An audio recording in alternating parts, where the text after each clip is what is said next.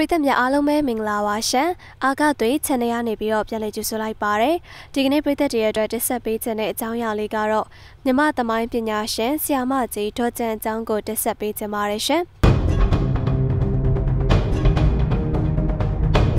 ဒေါ်ကျန်သည်လူသိများထင်ရှားသောတမိုင်းပညာရှင်တဦးဖြစ်သည်။သူဘဝရဲ့အချိန်များစုကိုမြမတမိုင်းနဲ့ပတ်သက်၍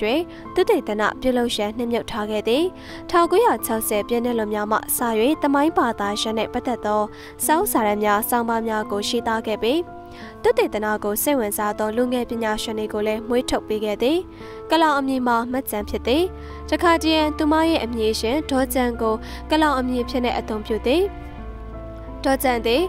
သူတေသနစာတမ်းတွေကိုလည်းရေးသားပြုစုရာတွင်တမိုင်းပညာရှင်တဦးအနေနဲ့အရရှိသော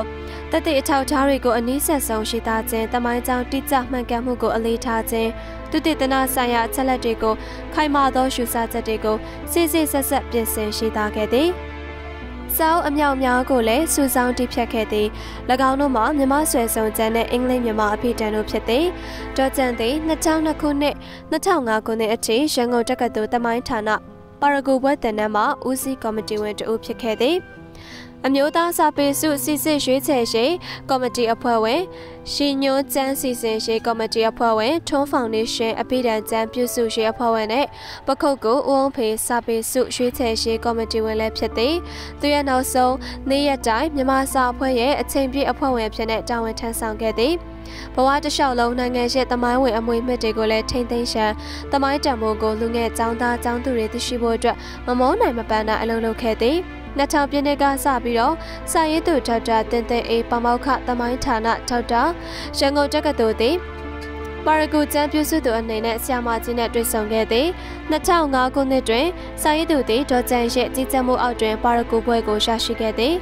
အထုပ်ပတ်တိဒေါ်ကျန်ကို1938ခုနှစ်ဇူလိုင်လ1ရက်နေ့တွင်ရခိုင်ပြည်နယ်တန်ကျွဲမြို့မှာမွေးဖွားခဲ့သည်ဖခင်ကဦးကျော်ထွန်းဖြစ်ပြီးကိုလိုနီခေတ်ကတန်ကျွဲမြို့ရဲ့ကျမ်းမာရေးဝန်ထမ်းဖြစ်တာဝန်ထမ်းဆောင်ခဲ့သည်မိခင်မှာဒေါ်ငွေနှင်းဖြစ်သည်အသက်9နှစ်အရွယ်တွင်ဖခင်ကွယ်လွန်ခဲ့သည်ထို့ကြောင့်ငယ်စဉ်ကလေးဘဝကိုမိခင်နဲ့အတူဖြတ်တန်းခဲ့ရသည်မွေးချင်းမောင်နှမတစ်ယောက်တွင်အကြီးဆုံးဖြစ်သည်သူရဲ့မောင်နှမတွေကဒေါ်ကျန်ကဲ့သို့ပင်ပညာရေးထိုးချွန်ပြီးတော့စာပေကိုမျက်နှိုးသူတွေဖြစ်ကြသည်ဒေါ်ကျန်သည်1935ခုနှစ်တွင်တန်တွဲမြို့အစိုးရအထက်တန်းကျောင်းအထက်တန်းဆောင်မွေးပွဲကိုအောင်မြင်ခဲ့ပြီးရှင်းကျောင်းတွင်အလဲတန်းပြဆရာမဖြစ်တဲ့ခေတ္တအလုပ်ကိုင်ခဲ့သည်နောက်ပိုင်းတွင်ရခိုင်ပြည်နယ်မှာရှိတဲ့တန်တွဲစာတိုင်းနဲ့စစ်တွေစာတိုင်းတွေမှာလည်းအထက်တန်းစီးဖြစ်တဲ့လုပ်ကိုင်ခဲ့သည်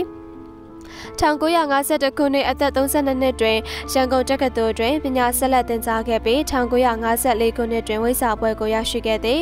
1959ခုနှစ်တွင်သမိုင်းဘာသာရှမ်းနှင့်မဟာဝိစာပွဲကိုရရှိခဲ့သည်မဟာဝိစာကျမ်းပြုစုနေစဉ်ရန်ကုန်တက္ကသိုလ်အင်္ဂလိပ်စာဌာနတွင်အချိန်ပိုင်းနည်းပြအဖြစ်နဲ့တနစ်ခန့်တာဝန်ထမ်းဆောင်ခဲ့သည်1956ခုနှစ်တွင်မြန်မာသမိုင်းကော်မရှင်သမိုင်းသုတေသနတွင်သုတေသနအရာရှိအဖြစ်နဲ့အခန့်အကျင်းခံရသည် 1958ခုနှစ်တွင်ဒေါ်ကျန်အားမြန်မာသမိုင်းနှင့်ပတ်သက်သောထောက်ထားတွေကိုစုဆောင်းရန်လန်ဒန်တက္ကသိုလ်အရှေ့တိုင်းနှင့်အာဖရိကလိလာရေးကျောင်းကိုဆင်းလုပ်ခဲ့သည်ဒေါ်ကျန်သည်မြန်မာကျောင်းရဲ့အုပ်ချုပ်ရေးနိုင်ငံရှိစီးပွားရှိလူမှုရှိကုသရှောင်းဝယ်ရှိကုန်သွယ်ရှိအခွန်ရှဲနှင့်ပညာရေးဆိုင်ရာမှတ်တမ်းများ1882 1881 1891၎င်းစည်ရင်အစီရင်ခံစာများတည်ရေးဌာနမှတ်တမ်းများမြန်မာနိုင်ငံပြန်တမ်းများကိုလိုနီခေတ်နဲ့သက်ဆိုင်သောအရေးကြီးစာရွက်စာတမ်းများ ကိုလိုနီကမြန်မာနိုင်ငံအကြောင်းတွေကိုမိုက်ခရိုဖလင်နဲ့ရိုက်ကူးထားသောမှတ်တမ်းတွေကိုစုဆောင်းနိုင်ခဲ့သည်။ရှားပါမြန်မာပရပိုင်များရှေးအောင်သမိုင်းမှတ်တမ်းစာပေများ1900ပြည့်နှစ်အထိ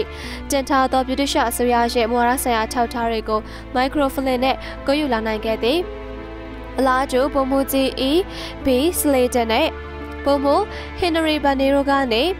တမိုင်းဆိုင်ရာမှတ်တမ်းတွေကိုလည်းကိုယူလာခဲ့သူဖြစ်ပါတယ်။ မြန်မာကော်မရှင်ဘာသာရှစ်အမျိုးမျိုးအတွက်ကိုလည်းမြန်မာနဲ့နိုင်ငံခြားသုတေသနပညာရှင်တွေကရှင်းသားသောသုတေသနစာဆောင်ကိုပုံနှိပ်ထုတ်ဝေခဲ့ပါတယ်။ရှင်းစာဆောင်ကတော့ရခိုင်ကနေထုတ်ဝေခဲ့သောမြန်မာနိုင်ငံသုတေသနအသင်းရဲ့ဂျာနယ်နဲ့ပုံစံတူပါတယ်။ရှင်းသုတေသနစာဆောင်သည်တနှစ်လက်ရဲနှစ်ကြိမ်ထုတ်ဝေသည်1960ဇွန်လအတွင်းပထမအတွင်းအပိုင်းတစ်ကိုထုတ်ဝေခဲ့ပြီးတော့ထိုနှစ်ဒီဇင်ဘာလအတွင်းပထမအတွင်းအပိုင်းနှစ်ကိုထုတ်ဝေခဲ့သည်။ထို့နောက် သူတေသနစာဆောင်ကော်မတီကိုပြန်လည်ဖွဲ့စည်းခဲ့ရာဖွဲ့စည်းပုံအသေးရှာထောကျန်သည်အဖွဲ့ဝင်သစ်ဖြစ်ခဲ့သည်1962တွင်မြန်မာသမိုင်းကော်မရှင်ကိုမြန်မာသမိုင်းဌာနလို့ပြောင်းလဲခေါ်ခဲ့ပြီးတော့မြန်မာသမိုင်းကော်မရှင်ရဲ့စာဆောင်ထုတ်ဝေခြင်းကိုရှင်းနာလိုက်သည်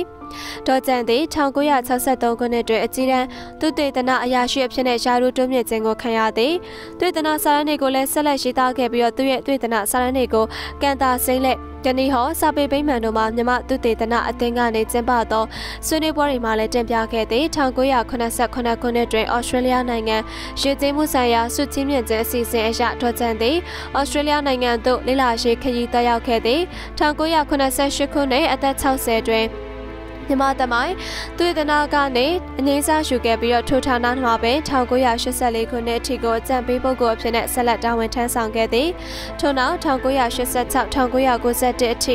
အမှတ်1စမှုဝင်ကြီးဌာနအကြံပေးအဖြစ်နဲ့တာဝန်ထမ်းဆောင်ခဲ့ပြီးတော့မြန်မာနိုင်ငံစမှုလက်မှုသမိုင်းအတွဲ6တွဲသူဒနာပြုလုပ်နိုင်ခဲ့ခြင်းကသူမရှိအောင်မြင်မှုတစ်ခုဖြစ်သည်1992ခုနှစ်ကစတင်ပြီးတော့ပညာရေးဝန်ကြီးဌာနလက်အောက်တွင်မြန်မာစာအဖွဲ့တွင်အချိန်ပြည့်အဖွဲ့ဝင်အဖြစ်နဲ့ကွယ်လွန်ခြင်းအထိကိုတာဝန်ထမ်းဆောင်ခဲ့သည်1993ခုနှစ်မြန်မာနိုင်ငံဖွဲ့စည်းပုံအခြေခံတစ်ကိုရှေ့ဆွဲရန်အမျိုးသားလွှတ်တော်ရှေ့ကိုယ်စားလှယ်ဖြစ်ခဲ့သည်ရွေရွယ်ချက်နဲ့အောင်မြင်မှုများဒေါ်ကျန်သည်တမိုင်းဆိုင်ရာစာအုပ်စာရန်တွေကို channel တွေကိုလည်းရှေ့သားဖြန့်ဝေခဲ့သည်တမိုင်းမှတ်တမ်းများအထောက်အထားတွေကိုလည်းနှစ်နှစ်ဆက်ဆက်လေ့လာသူဖြစ်သည်ထို့ကြောင့်သူရဲ့စာအုပ်မှတ်တမ်းတွေကចောင်းသားများနဲ့စာဖတ်သူတွေအတွက်အကျိုးများစွာရှိခဲ့သည်ထို့ပြင်တသက်တာစာပေစုနဲ့အမျိုးသားစာပေစု၅စုကိုလည်းရရှိခဲ့သည်2004ခုနှစ်တွင်ပခုတ်ကူဦးအောင်ဖေးတသက်တာစာပေစု2006ခုနှစ်တွင်ဝိဇာထူးချွန်ပညာစုပထမဆယ်2006ခုနှစ်တွင်မျိုးသားစာပေတသက်တာစုထောဖောင်ဒေးရှင်းစာပေစု2003 2005 2009ခုနှစ်တွင်မှာထူးချွန်အမျိုးသမီးများစုနဲ့ 2012ခုမှာနိုင်ငံတော်သမ္မတကချင်းမြင့်တဲ့စီတူပွဲကိုရရှိခဲ့သည်ထွန်းစုချင်းမြင့်ခင်အချိန်မှာတော့ဒေါက်တာလီလီယန်ဟန်လင်ကနေတယောက်ခဲ့ပြီးတော့ပြည်သက်ရဲ့ရေရောသောတွန်းပြောင်းမှုကိုအမြဲမှတ်ရနေကြောင်းပြောလို့ရှိသည်ဒေါ်ကျရဲ့1885ခုနှစ်ကနေ1886ခုနှစ်အတွင်းမြန်မာနိုင်ငံအခြေအနေစာအုပ်သည်1988ခုနှစ်တွင်အမျိုးသားစာပေတုတဝိစာစုကိုရရှိခဲ့သည်ချင်းမြင့်ခြင်းခရချိန်မှာဒေါ်ကျန်သည်မြန်မာသမိုင်း တွေ့တနာမှာအကြီးတန်းတွေ့တနာအရာရှိအဖြစ်နဲ့အမှုထမ်းနေစဉ်ဖြစ်သည်၎င်းစာအုပ်သည်ကိုလိုနီခေတ်အစောပိုင်းကာလကိုလည်းသူတေတနာပြုထားသောစာအုပ်ဖြစ်သည်ရှားပါသောစာပေထောက်ထားတွေပရပိုက်လက်ရင်းမှုတွေကိုကိုးကားပြီးတော့ကုန်းမောင်ခေတ်မင်းဆက်တရဲ့အခြေအနေကိုအသေးစိတ်တွေ့တနာပြုလုပ်ထားသည် စီရေးစီးပွားရေးနဲ့လူမှုရှုထောင့်မျိုးမျိုးကနေမြမနိုင်ငံရဲ့အခြေအနေကိုအသေးစိတ်လေ့လာတင်ပြထားသည်1986ခုနှစ်ဒေါ်ကျန်ဒေါက်တာရှိရှိတမိုင်းသူတေသည်6ဦးပါဝင်သောသူတေသနာအဖွဲ့သည်ရွှေတကုံဖျားကနေကျေးဥပေါင်း9962ပါရှိသောကျောက်စာတွေကိုကူးယူပြီးတော့တွေ့သနာပြုလုပ်ခဲ့သည်ကျောက်စာကူးယူခြင်းနဲ့ကျောက်စာရှေးထိုးထားသောစာရီရဲ့အထိပ္ပယ်ဖွင့်ဆိုခြင်းလုပ်ငန်းလုံးဆောင်ရှမ်း6လခန့်ကြာမြင့်ခဲ့သည်ရင်းကျေးဥများက1882ခုနှစ်ရွှေတကုံစီတော်ကိုမင်းတော်မင်း သီးတော်တဲ့မတဲမီပြည်သူများလှူဒန်းခဲ့သောကျေးုံများဖြစ်သည့်1869ခုနှစ်ရက်စွဲပါကျင်းဒီအုပ်တွေကိုလှူဒန်းသူတွေကတော့လူရန်စာအမျိုးမျိုးဖြစ်ကြသည်အများအပြားကတော့အောက်မြန်မာပြည်မှာဖြစ်သည်ကျောက်စာများမှအလူရှင်တွေရဲ့အမည်တွေနဲ့၎င်းတို့မိသားစုတွေကြေးရွာရဲ့အမည်တွေအသက်မွေးဝမ်းကြောင်းမှုတွေရုံကြည်မှုတွေနဲ့လူမှုရေးချင်တွေကျင်းဒီပြအလေးချိန်တန်ဖိုးအလှရှင်တွေနဲ့ မြန်မာစီးပွားရေးလူမှုရေးဆိုင်ရာရှုထောင့်တွေကိုလည်းလေ့လာတွေ့ရှိခဲ့သည်ဤတွေ့ရှိချက်တွေကိုအခြေခံပြီးတော့ဒေါ်ချန်နဲ့ဒေါက်တာရှီရိုကသေဒနာပြုလုပ်ခဲ့ပြီးရှားလက်နေနဲ့1989ခုနှစ်တွင်စာရိုက်နှစ်ဆောင်ကိုဖတ်ကြားခဲ့သည်ဖတ်ကြားပြီးတဲ့စာရိုက်နေပြင်ဆင်ခြင်းတိဖြတ်ခြင်းတွေကိုပြုလုပ်ပြီးတော့ပုံနှိပ်ထုတ်ဝေရန်စီစဉ်ခဲ့သည်တမိုင်းရှာပုံတော်ခီးနဲ့အခြားဆောင်များသည့်2002ခုနှစ်အမျိုးသားစာပေစုတုတဝိစာစုချင်းမြင့်ခြင်းကိုခံရသည်ဒီစာအုပ်တွင် သူတေသနာဂျာနယ်များနဲ့မဂဇင်းများတွင်သူမကိုယ်တိုင်တွေ့သနာပြုရှင်းသားထုတ်ဝေခဲ့သည့်တမိုင်းဆိုင်ရာစောင်းပါ90ပါဝင်သည့်ကုန်းမောင်ခေတ်ကိုလိုနီခေတ်ဂျပန်ခေတ်ကာလ မြန်မာနိုင်ငံတမိုင်းကျောင်းကိုဖော်ပြထားသည်မဟာဝေရှင်တော်မင်းကြီးအုပ်ချုပ်ရေး1886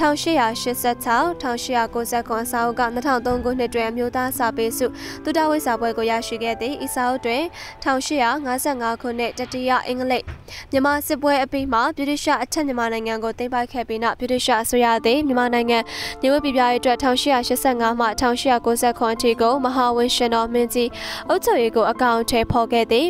မဟာဝရှင်တော်မင်းကြီးအုပ်ချုပ်ရေးအောက်မှရှိသောတရားရေးနှင့်ဝင်ငွေကုန်ကိစ္စတွေကိုလေ့လာခြင်းအပြင်ကိုလိုနီအုပ်ချုပ်ရှိသည့်ဒေသခံလူထုအပေါ်မြင့်မြော့တရားမှုရှိပြီးတော့ကိုလိုနီအာဏာပိုင်တွေမြေတို့မြေပေါ်အုပ်ချုပ်ရန်မျှော်လင့်ခဲ့ကြောင်းကိုလည်းတင်ပြထားသည်ကိုလိုနီခေအုပ်ချုပ်ရှိသည့်1886-1990ခွန်စောက်သည်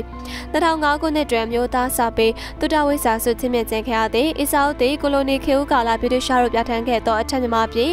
ကျေးရွာစင်းမြစည်းကံဥပဒေနဲ့အောက်မြန်မာပြည်ကျေးရွာဥပဒေတွေကိုဗြိတိရှားတို့ရဲ့မှတ်တမ်းမှတ်ရာတွေအစီရင်ခံစာကြေညာချက်ပြန်တန်းစသည်တို့မှာ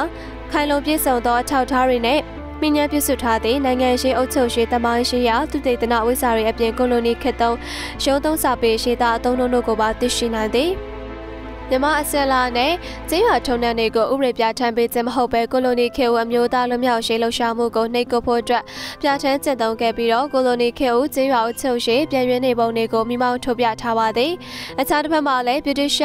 နေချဲဝါရာကသစစ်တမ်းမြေကိုကမ္ဘာစီးပွားရေးစနစ်ကိုပိုရောက်ဖို့အတွက်ကိုခင်မိသောအမြင်တွေကိုလည်းဒလိထုံနှံတွေကိုလက်တွေ့လှုပ်ဆောင်ဖို့အတွက်ကိုလည်းတွန်းအားပေးခဲ့သည်ကုန်းမောင်ခင်မှာလည်းအခွန်တော်ရှိရာစာအုပ်က2009ခုနှစ်တွင်မျိုးသားစာပေသူတေသနဝိစာစုကိုချင်းမြင့်ခြင်းခံခဲ့ရသည်တအုပ်ဆက်ပိုင်းပြင်ကလည်းပြည်သူတွေထံကနေအခွန်ကောက်ခံရသည်ပြည်သူများကအစိုးရကြံဝင်ငွေပေးဆောင်မှုအတွက်တာဝန်ရှိသည်ရရှိသောအခွန်တို့ကိုလည်းအခွန်ချမ်းပြည်သူတို့ရဲ့အသက်အိုးအိမ်စီစဉ်လုံခြုံရေးလူမှုဖူလုံရေးမင်းမှုတမ်းများခံထားရေးစသည်ဖြင့်နိုင်ငံနဲ့ပြည်သူအကျိုးအတွက်ကိုလည်းကုန်ကြစိတ်ကိုဤဝင်ငွေခွန်ကိုကြခံရသည်မင်းတော်မင်းလက်ချက်မတိုင်မီအခွန်စည်းချက်သည့်စနစ်မရှိခဲ့ပါမင်းတော်မင်းသည်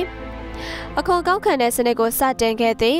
အိမ်ဆက်အိမ်ဤအုပ်စုတိုင်းသည်နှစ်စဉ်ရူပီတရာကိုတသမီတာခွန်ဖြစ်နေပေးဆောင်ရသည်သို့သောအိမ်အောင်စုတစ်ခုစီကတော့တူညီသောငွေပမာဏကိုပေးရခြင်းမဟုတ်ဘဲနဲ့ချမ်းသာသောသူတွေကပို့ပေးရသည်အိမ်တအိမ်စီကပေးရတဲ့ငွေကိုကြေးရွာကောင်းဆောင်များသို့မဟုတ်အိမ်အောင်စုဆယ်စုစိန်စုရဲ့ကောင်းဆောင်တွေကနေဆုံးဖြတ်ပေးရသည်ဒေါ်ကျန်သည်အီစာအိုထဲတွင်အခွန်တော်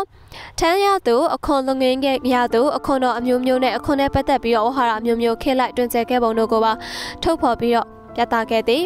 ပြန်လည်သုံးသက်ခြင်းဒေါ်ကျန်သည်2019ခုနှစ်နိုဝင်ဘာလ16ရက်နေ့မှာကွယ်လွန်ခဲ့သည်သူသည်တမိုင်းပညာရှင်တူဖြစ်တယ်လို့မြန်မာစာအဖွဲ့ရဲ့အဖွဲ့ဝင်လည်းဖြစ်သည်ပါဠိစာပေ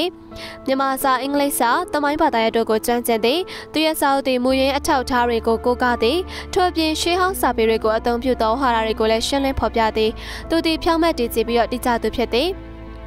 ကိုပိုင်ဆုံးဖြတ်ချက်နဲ့ဘဝကိုရှင်းတန်ခဲ့ပြီးတော့မှန်ကန်သည်ဟုသောယုံကြည်သောရှာတွေအတွက်မကြာခဏတိုက်ပွဲဝင်လေးရှိသည်ကြံ့ခိုင်သောအမျိုးသမီးတူဖြစ်သည်စာပေတွေကိုပုံနှိပ်ထုတ်ဝေရတွေ၎င်းစာပေရှိသားရတွေ၎င်းအလွန်စိစက်သေးကြသူဖြစ်သည်သူရှိချက်တွေကိုလည်းတက်သေးထောက်ထားတွေတမိုင်းမှန်ကန်စွာတက်သေးပြထူခဲ့သူဖြစ်သည်သူမသည်စာဖတ်ရမှာလည်းအမြဲစိစဆက်နဲ့ cue decide ဖတ်သူဖြစ်ပြီးတော့ငရဲသူပညာရှင်တွေကိုလည်းရရရောနဲ့အကြံဉာဏ်အကူအညီတွေကိုပေးသူဖြစ်သည်ပန်းစကားတွေကိုလက်ခံရှမ်းညှင်းဆန်သည်အတိတ်ကိုလည်း၎င်းတို့ကိုယ်ပိုင်သတ်မှတ်ချက်တွေနဲ့ပြန်လည်ကောင်းမွန်လာနိုင်သည်ကိုရှုံကြည်သည်ပုဂ္ဂိုလ်ရေးထင်မြင်ချက်တွေသို့မဟုတ်နိုင်ငံရေးအမြင်နဲ့လူတရားပညာရေးသွေးကိုမဆုံးဖြတ်သိမ့်လို့လည်းရှုစားခဲ့သည်တမိုင်းဆိုင်ရာတွေ့တနာအစာရင်းကိုပြုစုခြင်းနဲ့တိဖြတ်ခြင်းအတွက်ကြီးမားသောပံ့ပိုးမှုတွေကိုပေးခဲ့သူလည်းဖြစ်သည်တမ်းပြည်အတွက်သားမကအကြောင်းသားနဲ့စာဖတ်သူတွေအတွက်တန်ဖိုးမဖြတ်နိုင်တဲ့ပညာရှင်တဦးဖြစ်သည်သူမကတမ်းပြည်တွင်ရှေ့လျားပြီးတော့မတင်ငိမ်သောတမိုင်းကြောင်းရှိခဲ့ကြောင်းလက်ရှိပြဿနာတွေကိုထိုတမိုင်းကြောင်းကနေအမြဲအသိပေးခဲ့လို့အားလုံးကိုသတိပေးခဲ့သည် ပစ္စုပန်ကိုနားလည်ရှမ်းလက်ရှိအကြောင်းအရာတွေထက်ကိုစလုံးပြီးတော့တိုးတက်ရှမ်းအတိတ်နဲ့ပတ်သက်သောအသိပညာတွေမရှိမဖြစ်လိုအပ်ကြောင်းကိုလည်းပြောခဲ့သည်။တနည်းအားဖြင့်ကတော့ဒေါ်ကျန်သည်ပြည်သူများရှင်းမောက်တွင်အချိန်ကြာမြင့်စွာနေထိုင်ခဲ့သည့်သက်ရှိသမိုင်းပညာရှင်ဖြစ်ခဲ့သည်။သူရဲ့မြမသမိုင်းအရှိသားတွေကတော့ယနေ့ထက်တိုင်ခင်မီနေဆဲလည်းဖြစ်ပါတယ်။ဟုတ်ကဲ့ပါရှင်ပရိသတ်တွေအတွက်ဒီနေ့တက်ဆက်ပေးခဲ့ရတဲ့အကြောင်းအရာလေးကတော့ဒီလောက်ပါပဲ။ နောက်ထပ်လည်းစိတ်ဝင်စားဖို့ကောင်းတဲ့အကြောင်းအရာတွေကိုတက်ဆက်ပေးအောင်ပါမလို့ကျမတို့ရဲ့ channel လေးကို subscribe ပြုလုပ်ပြီးတော့စောင့်မျှော်ကြည့်ရှုအားပေးနားဆင်နေရပါပြီရှင်။နားဆင်အားပေးကြတဲ့ပရိသတ်များအားလုံးကိုလည်းကျေးဇူးထူးပဲတင်ရှိပါရစေ။